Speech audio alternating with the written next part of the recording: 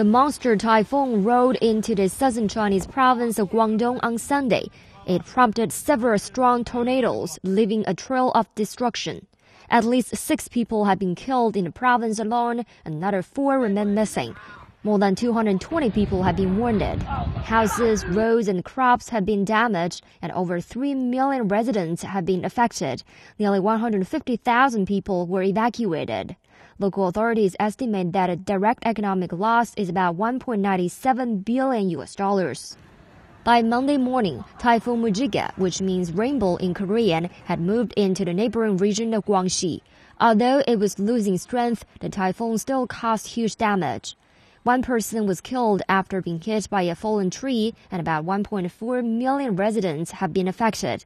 Tens of thousands of homes are left without power. The typhoon has also lashed the resort island province of Hainan, where thousands of people have flocked during the week-long National Day holiday that runs through Wednesday.